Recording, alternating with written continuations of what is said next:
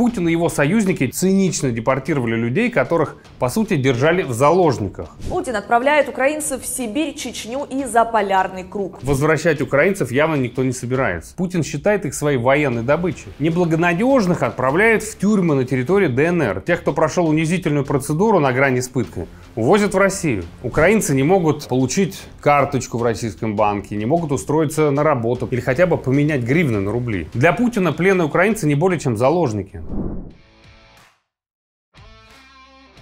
Привет, это Дмитрий Гудков. Похоже, Путин решил нарушить все международные нормы, которые Россия когда-то признала. Так и вижу, переносит ему в папке распечатки документов, а он идет по списку. Смотрит, запрещенное вооружение. Ну какая же война без фосфорных бомб? Используем. Нельзя атаковать гражданские объекты? Бомбим больницы и роддома тоже. Депортация? Ну, мне нравится эта идея. Берем в плен гражданских и насильно везем их в Сибирь.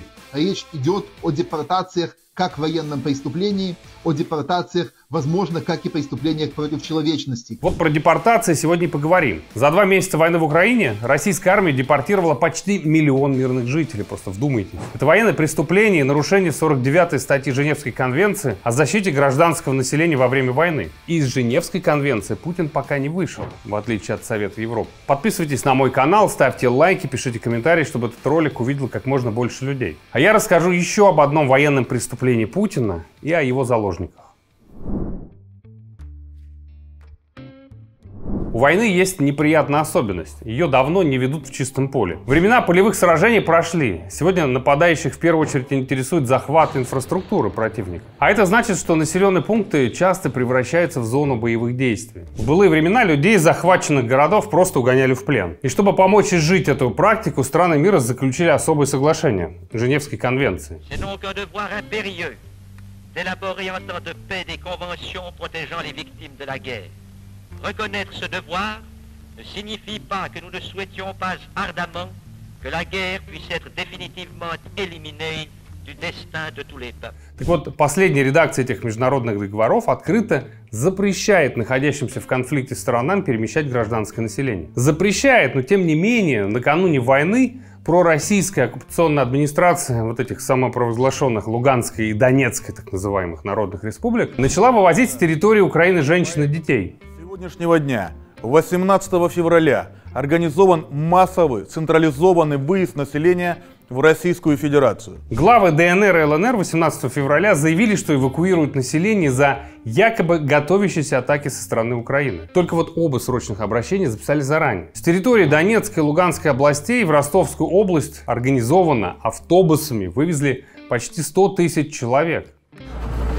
А туалет, вода, еда есть хоть что-нибудь? Или вы здесь вот, вот так вот просто в автобус? Туалет, туалет, мы за уголок ходим.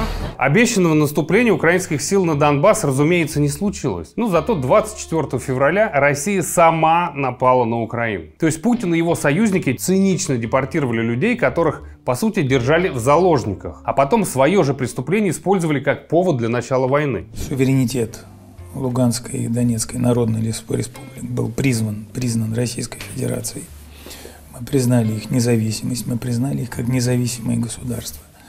И, собственно, операция началась по э, просьбе о помощи этих двух республик. По мере того, как российская армия оккупировала территорию Украины, мирных людей продолжали насильно вывозить в Россию. Среди пленников жители Херсона, Мариуполя, Изюма и других городов. российская власть вывезла из России около миллиона граждан, и из них 200 тысяч детей. Многие остались без родителей, их отдают на усыновление без ведома семьи. Депортацию, как и в случае с ДНР, называют эвакуацией. Это попытка легализовать происходящее. Женевская конвенция разрешает эвакуировать людей ради их безопасности, но их необходимо вернуть обратно обратно, когда бои будут закончены. Только вот возвращать украинцев явно никто не собирается. Иначе бы их не вывозили, например, э, на Дальний Восток. Путин считает их своей военной добычей. Дальше их поездами развозят по разным местам, включая депрессивные регионы Российской Федерации, в том числе на Сахалин.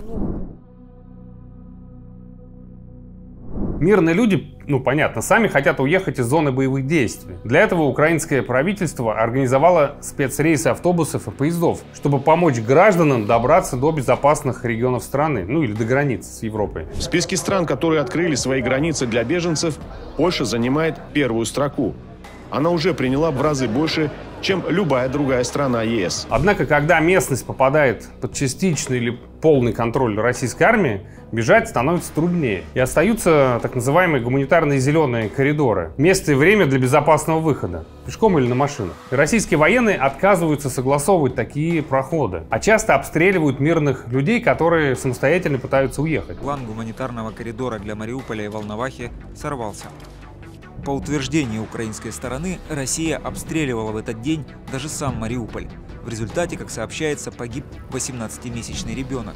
Еще в самом начале войны таким образом убили несколько семей, что показательно, чтобы запугать остальных. Вместо этого оккупанты предлагают украинцам эвакуироваться в Россию. Ставят перед невозможным выбором. То есть либо остаешься в подвале под бомбами, без воды, без еды, в постоянной опасности, что тебя убьют, ограбят, там, изнасилуют. Или соглашаешься на депортацию в нападающую на тебя страну. Все время бомбят и воздушную тревогу включают, и нам нужно спускаться в подвал.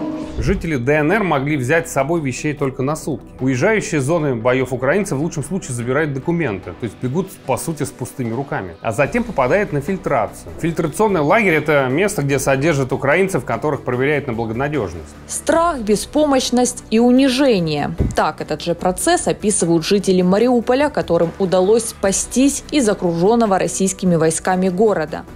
У мирных людей, как у преступников, снимают отпечатки пальцев, раздевают их до гола и проводят подробный досмотр. На самом деле ищут татуировки с украинским гербом или там шрам от оружия. Так пытаются вычислить бывших военных. Всех, кто не понравились, бьют.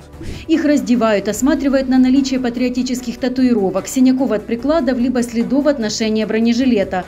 А еще тщательно допрашивают с применением насилия. Часто для этого привлекают сотрудников ФСБ. Под конец процедуры у украинцев досматривают телефоны и допрашивают, ну, выясняют, как они относятся к России. Этот вопрос звучит как издевка. Как вообще можно относиться к стране, которая на тебя напала? Но российские власти прямо по-кадыровски ждут от украинцев покаяния за любовь к родине. Хотят, чтобы те присягали на верность Путину. I never in my wildest dreams years ago thought I would be talking in the year 2022 about filtration camps. And those that quote unquote pass are then forcibly uh, deported to Russia. Uh, others who don't pass are quote unquote disappeared, and so they go missing. Неблагонадежных отправляют в тюрьмы на территории ДНР. Тех, кто прошел унизительную процедуру на грани с пыткой, увозят в Россию. Задумайтесь на секунду, мы ведь не про Вторую мировую говорим, не про концлагеря, нацистов и даже не про ГУЛАГ. Это все происходит в нашей стране прямо сейчас. Вот в эту самую минуту, когда вы смотрите это видео, российские солдаты пытают пленных. Наши с вами сограждане, возможно, ваши соседи или знакомые. И прямо сейчас они сбивают раздетых до гола людей, похищенных из другой страны. Просто за то, что те не захотели отдавать нападавшим свою родную землю. Между собой российские военные говорят про э, убийство. То, что тех людей, которые не проходят фильтрацию, что, в общем-то, с ними не церемонятся. Куда потом лежит путь депортированных людей? Британские журналисты выяснили, что в России действует минимум 66 пунктов временного содержания. Много таких лагерей на юге, еще есть на крайнем севере, в Сибири, Камчатке, на Дальнем Востоке, ну и так далее. Почти все в тех регионах, откуда сложно и дорого выбраться самостоятельно. Ну, попробуйте, например, вернуться в Херсон с Камчатки, когда у вас нет, ну, не то что денег, даже мобильного телефона. В каждом таком центре в среднем содержат 150-160 человек. По подсчетам украинских властей, чтобы принять всех депортированных в Россию граждан Украины, требуется 6,5 тысяч точек. К счастью или нет, это не централизованная программа, и, похоже, лагеря просто скинули местным администрациям или там добровольцам из Единой России. Так что они поддерживают их на свое усмотрение. Состояние никак не регламентируется. Ну, где-то условия может быть, могут быть сносными, с едой, кроватями, а где-то депортированные вовсе спят на полу. What we know uh, from the city mayor and the city council is they're taking Ukrainian citizens and then they're being relocated to very distant parts of Russia where they are being forced to sign papers that they will stay in that area for two or three years and they will work for free in, that, in those areas. Где-то людям дают свободу перемещаться, а где-то применяют насилие. И сами лагеря, кстати, даже не самая серьезная проблема. Украинцы не могут э, получить карточку в российском банке, не могут устроиться на работу, получить медицинскую помощь или хотя бы поменять гривны на рубли. Да, мы пытаемся по мере сил и возможностей, э, в общем, помочь людям, потому что понятно, что они выехали из зоны боевых действий, ну, как говорится, с тем, что в руках поместилось. Соответственно, у них зачастую проблемы и с документами, э, у них проблемы с насильными вещами. В общем, большой круг самых-самых разных проблем. У многих с собой нет вообще никаких документов, кроме украинского паспорта. А как работает российская бюрократия, большинство не знает и узнать им негде. Людей просто привозят, как, я не знаю, мешки с картошкой и бросают где попало. А как они дальше будут выкручиваться, вообще никого не интересует. На местах уже организовалось движение волонтеров. Они пытаются решать проблемы депортированных, э, привозят им еду, одежду, средства гигиены, даже детское питание. Объединяются через группы в Телеграме, а с помощью краундфандинга собирают деньги и превращают пожертвования в помощь. Но на весь миллион депортированных волонтерских рук и денег явно не хватает. А Путину на судьбу этих людей, ну, откровенно наплевать. Да вы что, издеваются над нами как хотят. Отдельная проблема – это отсутствие связи и понимания своего правового статуса.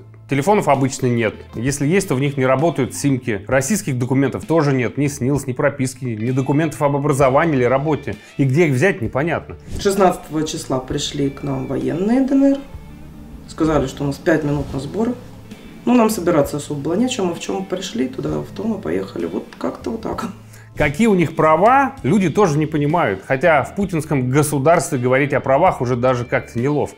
Российские чиновники пользуются уязвимым положением депортированных и стараются их запугать, чтобы те никуда не уезжали. По нашей информации людей просто обманывают и говорят, что вы не можете легально находиться на территории Российской Федерации, если вы не обратитесь за статусом. Статус – это убежище или беженство. Но здесь вступает в силу один из плюсов хаоса чиновничьего разгильдяйства. За людьми толком никто не смотрит. И бежать из России действительно можно. Для этого нужны документы. Если при себе оказался загранпаспорт, то проще всего взять билет на самолет и улететь. Нужно только собрать деньги. Если удалось спасти только внутренний украинский паспорт, то путь будет, конечно, долгим. Один возможный маршрут – это поездами и автобусами добраться до Москвы и Питера, а дальше там в Ивангород и перейти границы с Эстонией. На эстонской стороне дежурят украинские консулы, которые помогают людям уехать дальше, в Европу. Вторая дорога лежит до Владикавказа и оттуда в Грузию или в Казахстан. Уже на месте можно связаться с украинскими посольствами или там волонтерами, которые окажут помощь. Путь долгий и трудный. Многие депортированные после двух месяцев войны находятся в очень тяжелом состоянии и нуждаются в медицинской помощи. Но люди все равно едут, едут назад в Украину или в Европу или в другие страны с надеждой однажды оказаться на родине. Потому что их, в отличие от уехавших россиян, на родине действительно ждут. Вам не страшно возвращаться домой? Честно, ну как сказать страшно? Да, наверное, уже нет. У нас там чуть-чуть потише стало, но у нас такие люди, ну, нас ждут там. Депортация украинских граждан – это, конечно, вопиющее нарушение прав человека и международных договоренностей. В 20 веке советская власть уже депортировала украинцев в Сибирь. Некоторые сами были вынуждены бежать туда же от Голодомора. В течение 1944-46 годов из Ровенской, Волынской, Львовской, Тернопольской, Станиславской, Драгобычской и Черновицкой областей в отдаленные районы Советского Союза депортировали около 40 тысяч человек. Теперь же потомки людей, которые вернулись из сибирской ссылки домой, снова едут в сибирские лагеря. Этому просто нет никакого оправдания. Для Путина пленные украинцы не более чем заложники. Простой и циничный расчет – это брать в плен мирных жителей, женщин, детей, чтобы деморализовать украинских защитников и запугать общество. Не боитесь бомб и обстрелов, ну тогда дело, в дело пойдет старый добрый терроризм. Единственный способ восстановить справедливость – это помочь как можно большему числу украинских граждан вернуться на территории союзных с Украиной государств или в безопасные регионы страны.